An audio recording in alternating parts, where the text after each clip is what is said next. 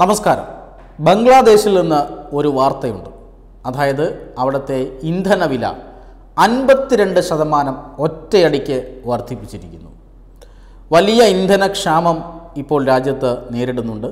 പല എണ്ണ കമ്പനികളുടെ ഓപ്പറേറ്റ് ചെയ്യുന്ന പെട്രോൾ പമ്പിലും ഇന്ന് സ്റ്റോക്കില്ല. അവിടെ വലിയ ജനകീയ പ്രതിഷേധം നടക്കുന്നു. ജനങ്ങളാകെ തെരുവിലിറങ്ങിയിരിക്കുന്നു.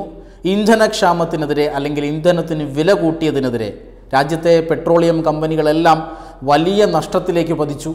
അതാണ് വില കൂട്ടാൻ നിർബന്ധിതരായത്. അവർ അങ്ങനെ അൻപത്തിരണ്ട് ശതമാനം വില കൂട്ടുന്നു. അതോടുകൂടി ജനങ്ങൾ പ്രതിഷേ ജനങ്ങൾ രോഷാകുലരാകുന്നു.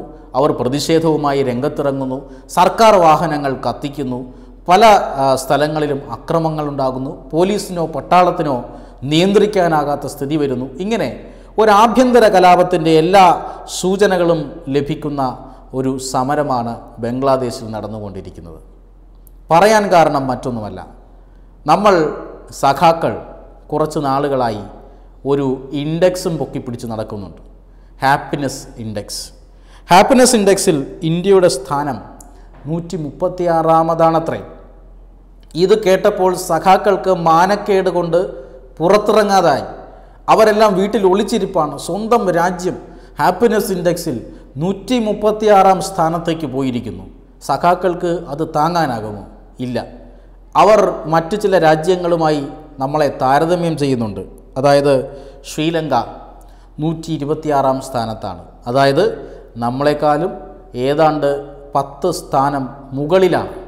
പത്ത് സ്ഥാനം മുകളിലാണ് ശ്രീലങ്കയുടെ സ്ഥാനം.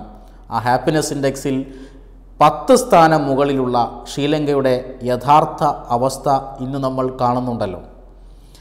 ഇന്ത്യ അയച്ചു കൊടുക്കുന്ന അരിയും ഗോതമ്പും കഴിച്ച് ഇന്ത്യ അയച്ചു കൊടുക്കുന്ന ഡീസൽ ഉപയോഗിച്ച് വൈദ്യുതി ഉൽപ്പാദിപ്പിച്ച് ഇന്ത്യ അയച്ചു കൊടുക്കുന്ന കാശ് ഉപയോഗിച്ച് വട്ടച്ചെലവ് നടത്തുന്ന ഒരു രാജ്യമായി ശ്രീലങ്ക മാറി.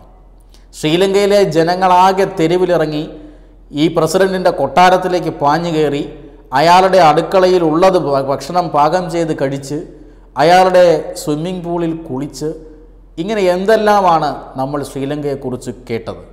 ഹാപ്പിനെസ് അവിടെ കൂടിപ്പോയത് കൊണ്ടാണോ എന്നൊരു സംശയമുണ്ട്. അടുത്ത രാജ്യമുണ്ട്. പാകിസ്ഥാൻ നൂറ്റിമൂന്നാം സ്ഥാനത്താണ്.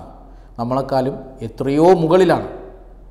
പാകിസ്ഥാനിലെ അവസ്ഥ ശ്രീലങ്കയിലെ അവസ്ഥയ്ക്ക് ഏതാണ്ട് സമാനമാണ്. ഇന്ധനക്ഷാമമുണ്ട് വൈദ്യുതി ക്ഷാമമുണ്ട് രാത്രി എട്ട് മണിക്ക് ശേഷം അവിടെ തെരുവ് വിളക്കുകൾ അടക്കമുള്ള വൈദ്യുതി പ്രകാശങ്ങളെല്ലാം അണയുന്നു. രാഷ്ട്രീയമായ അസ്ഥിരതയുണ്ട്. ഒരു ഭാഗത്ത് ഒരു സർക്കാരിനെ അട്ടിമറിച്ചുകൊണ്ട് ബദൽ സർക്കാർ രൂപീകരിച്ച രാഷ്ട്രീയ പാർട്ടികളുണ്ട്. പുറത്തുപോയ രാഷ്ട്രീയ പാർട്ടികളും മുൻ പ്രധാനമന്ത്രിയും എല്ലാം തെരുവിലിറങ്ങി സമരം ചെയ്യുന്നുണ്ട്. ഇങ്ങനെ വളരെ കലുഷിതമായ അന്തരീക്ഷമാണ് പാകിസ്ഥാനിൽ. മറ്റൊരു രാജ്യം പറയാം നേപ്പാൾ. എൺപത്തിയഞ്ചാം സ്ഥാനത്താണ്. നേപ്പാളിന്റെ അവസ്ഥകൾ പുറത്തു വരാനിരിക്കുന്നതേ ഉള്ളൂ. ഭൂട്ടാനുണ്ട് ബംഗ്ലാദേശുണ്ട് തൊണ്ണൂറ്റി ഒൻപതാം സ്ഥാനത്ത്. ആദ്യം പറഞ്ഞ രാജ്യമാണ് തൊണ്ണൂറ്റി ഒൻപതാം സ്ഥാനത്താണ്. ഇന്ത്യയേക്കാൾ വളരെ മുന്നിലാണ് ബംഗ്ലാദേശ് ഹാപ്പിനെസ് ഇൻഡെക്സിൽ. ആ ഹാപ്പിനെസ് ഇൻഡെക്സിൽ വളരെ മുന്നിലായ രാജ്യങ്ങളുടെ അവസ്ഥയാണ് ഈ പറഞ്ഞത്. ശ്രീലങ്ക പാകിസ്ഥാൻ നേപ്പാൾ ഭൂട്ടാൻ ഏറ്റവും ഒടുവിലിത ബംഗ്ലാദേശ്. കഴിക്കാൻ ഭക്ഷ്യധാന്യങ്ങളോ ഇന്ധനമോ വൈദ്യുതിയോ പോലുമില്ലാതെ ജനം അവിടെ നട്ടം തിരിയുകയാണ്. അതിന്റെ ചിത്രങ്ങളാണ് പുറത്തു വന്നുകൊണ്ടിരിക്കുന്നത്. ജനം തെരുവിലിറങ്ങി പ്രതിഷേധിക്കുകയാണ്. ജീവിതം വഴിമുട്ടിയ ജനങ്ങൾ തെരുവിലിറങ്ങി പ്രതിഷേധിക്കുകയാണ് ഈ സന്തോഷം കൂടിപ്പോയ സഖാക്കളുടെ നാടുകളിലെല്ലാം. അപ്പോഴും നമ്മുടെ രാജ്യം നൂറ്റി മുപ്പത്തിയാറാം സ്ഥാനത്താണ് എന്ന് പറഞ്ഞ് എന്തെല്ലാം കോലാഹലമാണ് ഉണ്ടാക്കിയത്. ഇനിയെങ്കിലും ഇത്തരം വേറൊരു റിപ്പോർട്ടുണ്ടായിരുന്നു ആഗോള പട്ടിണി സൂചിക. അത് പൊളിഞ്ഞു പാളീഷായപ്പോഴാണ് ഈ ഹാപ്പിനെസ് ഇൻഡെക്സുമായി വരുന്നത്. ഇനിയെങ്കിലും ഇത്തരം ഉടായ്പകളുമായി ഇന്ത്യൻ രാഷ്ട്രീയത്തെ താരതമ്യം ചെയ്യാതിരിക്കുക. ഇത്തരം ഉടായ്പകളുമായി നമ്മുടെ ഗവൺമെന്റിന്റെ പ്രവർത്തനങ്ങളെ വിലയിരുത്താതിരിക്കാൻ ശ്രമിക്കുക. നമ്മുടെ സർക്കാരിന്റെ പ്രവർത്തനങ്ങളെ വിലയിരുത്താൻ നമുക്ക് ധാരാളം സൂചികകളുണ്ട്. ധാരാളം സ്ഥിതിവിവര കണക്കുകൾ നമുക്ക് ലഭ്യമാണ്. ഇതെല്ലാം ഒത്തുനോക്കുക. രാജ്യത്തെ വിലക്കയറ്റത്തിന്റെ സൂചികകളുണ്ട്. രാജ്യത്തെ ഓഹരി വിപണിയുടെ സൂചികകളുണ്ട്. രാജ്യത്തിന്റെ ജി ഡി പി റേറ്റുണ്ട്. അല്ലെങ്കിൽ രാജ്യത്തിന്റെ വളർച്ച അനുപാതവുമായി ബന്ധപ്പെട്ട നിരവധി നിരവധി സ്ഥിതിവിവര കണക്കുകൾ നമുക്ക് ലഭ്യമാണ്.